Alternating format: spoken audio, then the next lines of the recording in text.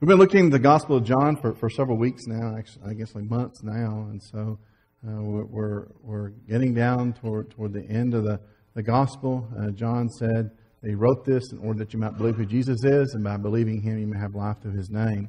And so this morning's lesson, I guess if I, had to come up with a title for it, it'd be called The Gardens from John chapter 18, first 11 verses. Now, to put a little bit in context, we saw in chapter 17 last Sunday with sort of the Holy of Holies in the New Testament, where Jesus, in his most intimate moments with God, prayed specifically for himself. Then he prayed for his people, the church, that they may become one. Uh, and then he prayed specifically for you and for me. Uh, that, that, that, that he had us on his mind in the final moments of his life before his betrayal. So here we have Jesus sort of doing this. Uh, John tells us that, that the meal is over, uh, they finished the, the, Passover meal. And then, as Brother, read the, Brother Joe read the text this morning, when he spoke in these words, he went with his disciples over the brook Kidron, where there was a garden which he and his disciples entered. And Judas, who betrayed him, also knew the place, for Jesus often met there with his disciples. Then Judas, having received a detachment of troops and officers from the chief priests and Pharisees, came there with lanterns torches, and weapons. Jesus, therefore, knowing all things that would come upon him, went forward and said to him, Who are you seeking? They answered him, Jesus of Nazareth. And Jesus said to him, I am he. And Judas, who betrayed him, also stood with them. Now, when he said to them, I am he, they drew back and fell to the ground. Then he asked them again, saying, Whom are you seeking? They said, Jesus of Nazareth. Then Jesus answered, I have told you that I am He. Therefore, if you seek me, let these go their way, that the saying might be fulfilled which he spoke of those whom I gave you I've lost none. Then Simon Peter, having a sword, drew it and struck the high priest's servant and cut off his right ear.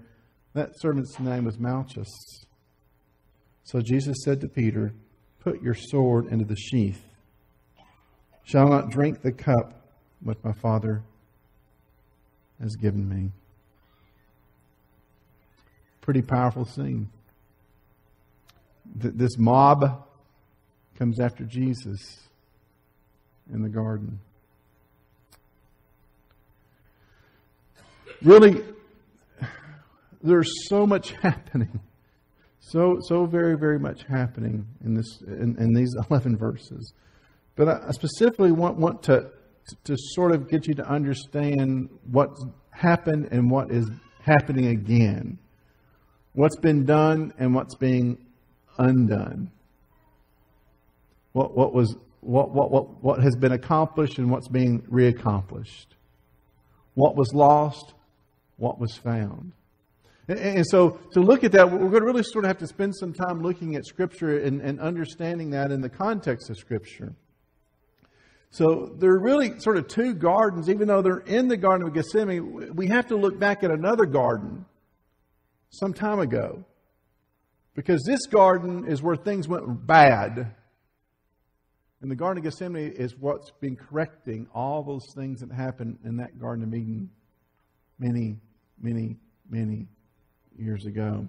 So Jesus' disciples had left the meal, they, would walked to the garden, and this was very intentional. John is letting us know that, that, that, this, Jesus did this. Jesus knew Jesus would do this. Jesus led them to the garden uh, very specifically for a specific purpose because the, the, the garden is where Jesus is claiming his lordship.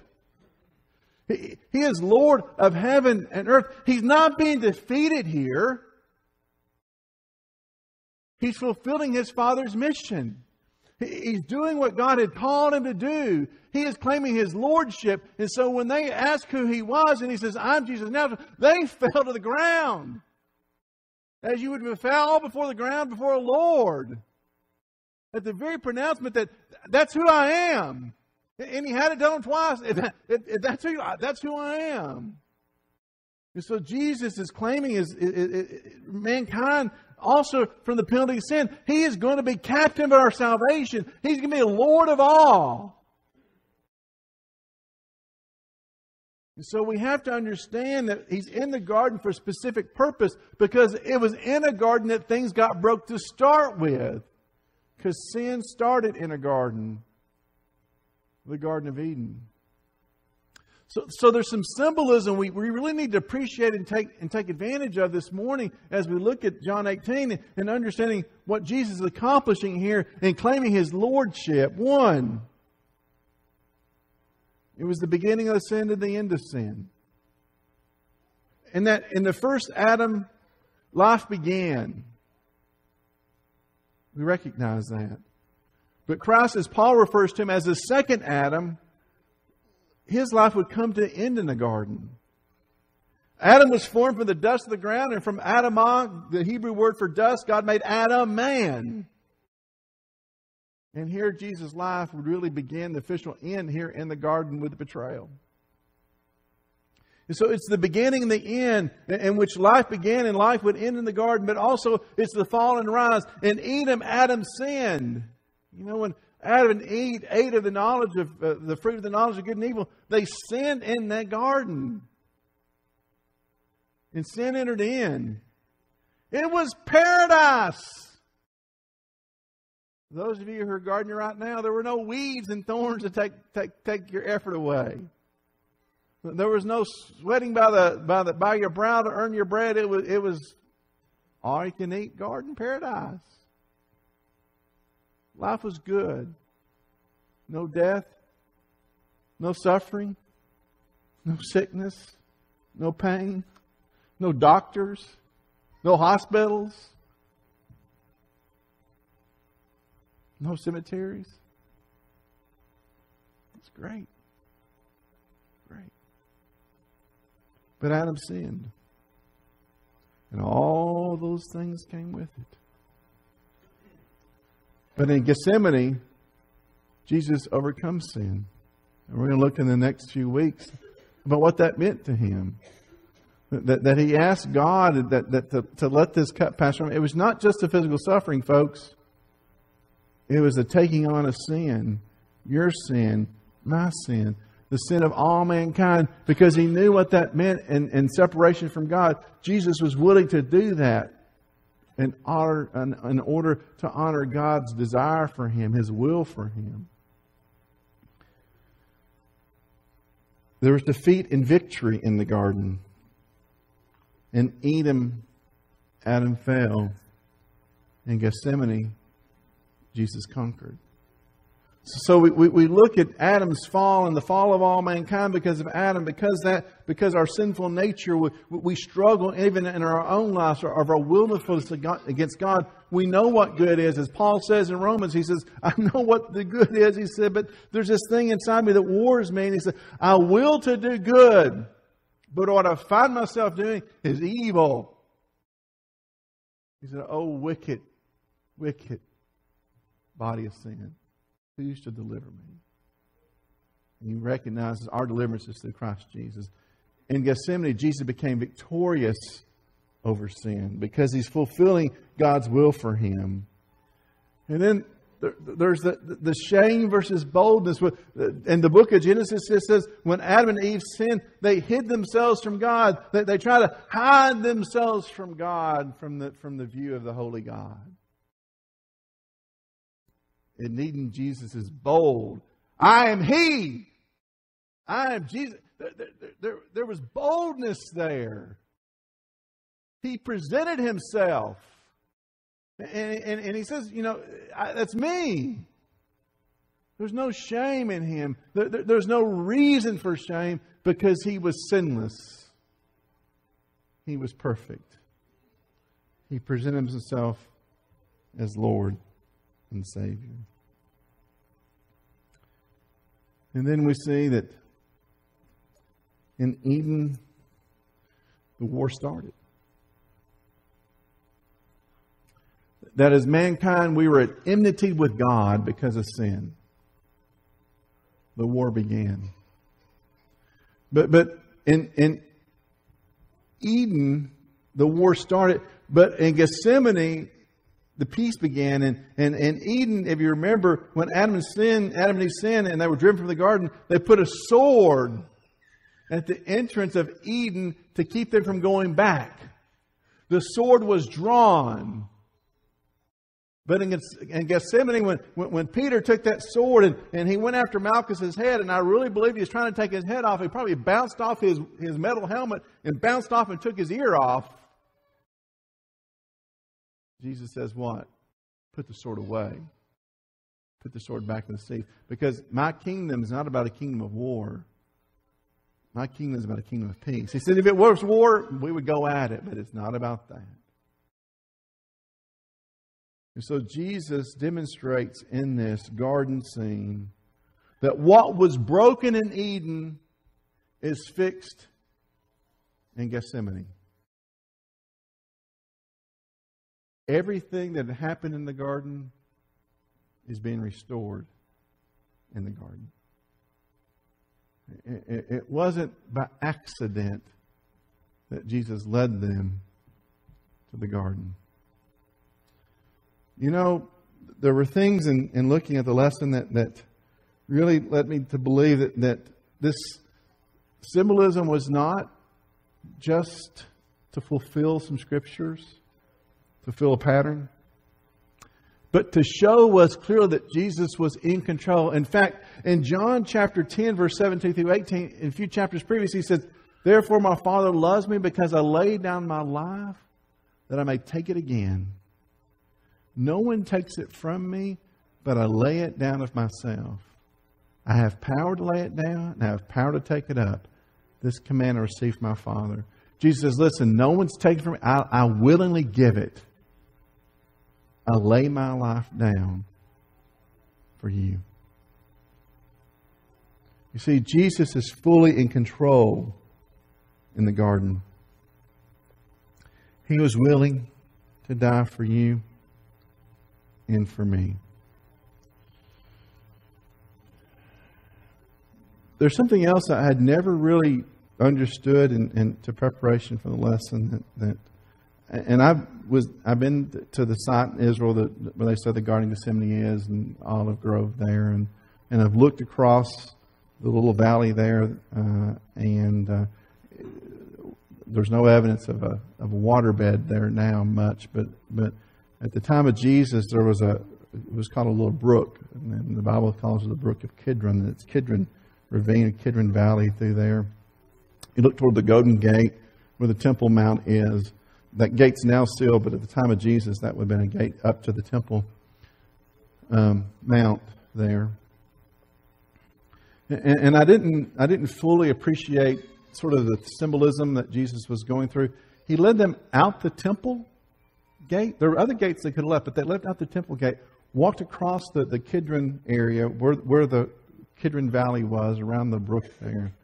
And I never knew what John was sort of trying to bring up. But the people who may have read this early on, the people who were familiar with, with the practices and around the time, may have really appreciated what was happening.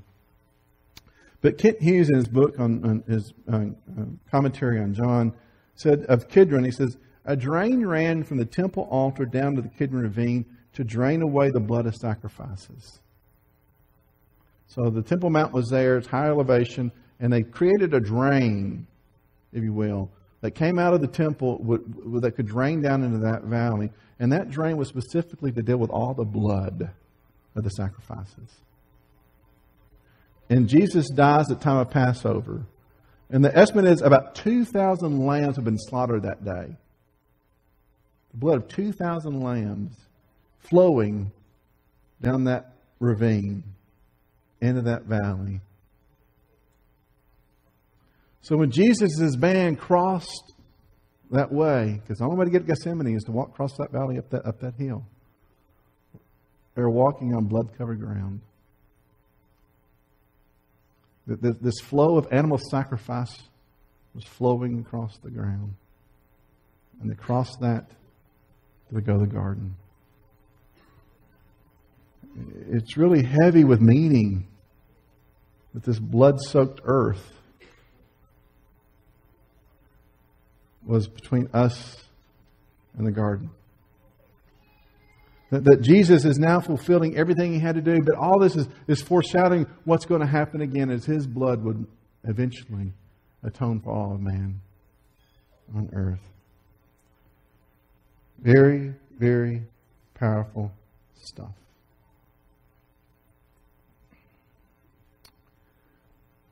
Of all that was happening in the garden, can you imagine what our Heavenly Father was experiencing?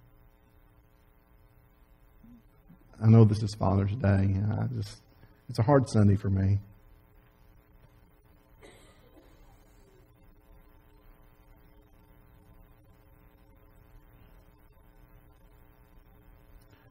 But can you imagine what God's experiencing? He knows. Jesus says, No one's making me do this. I'm doing it myself. I lay my own life down. Can you imagine? Can you imagine what God is witnessing? Can you?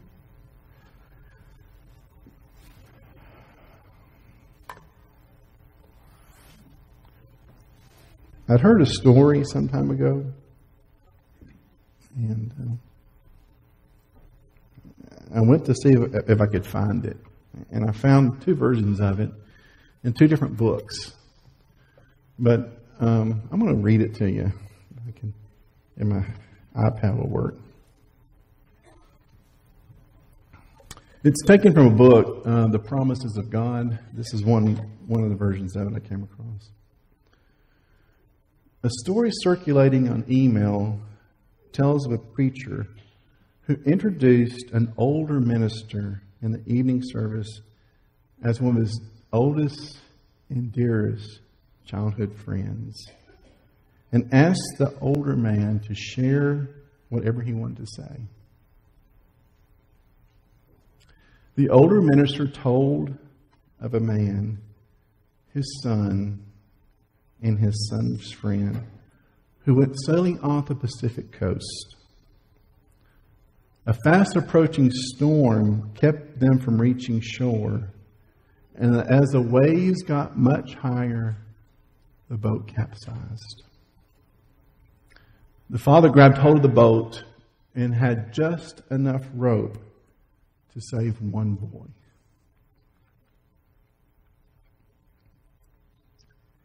He knew his son was a Christian, and his friend was not. So, calling out, he said, I love you, son. And he threw the rope to the friend so he could be saved.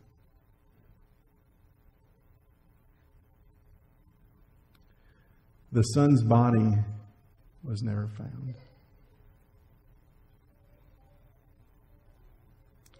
The guest minister said, How great is the love of God that He should do the same for us. Our Heavenly Father sacrificed His only begotten Son so that we could be saved. After the service, two teenage boys who had listened intently came to the older minister and said, That was a great story, but not very realistic. For a father to sacrifice his son's life to save his son's friend? You're right, said the old preacher. It isn't very realistic.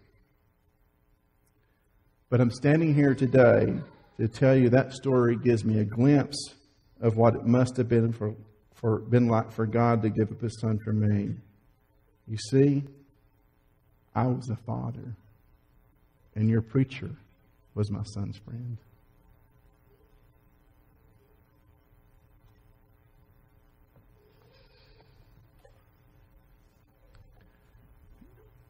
You see, God knew his son's future and was willing to sacrifice him in order to throw us the rope.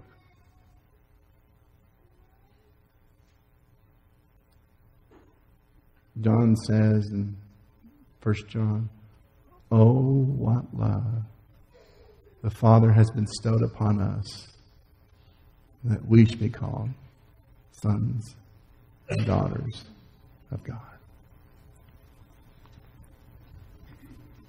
You see, this was a father's choice. Paul says in Romans, while we were still yet sinners, Christ died for us. So, you put your name there. For God so loved you that he gave his only begotten Son. You see, in that garden, the second of two,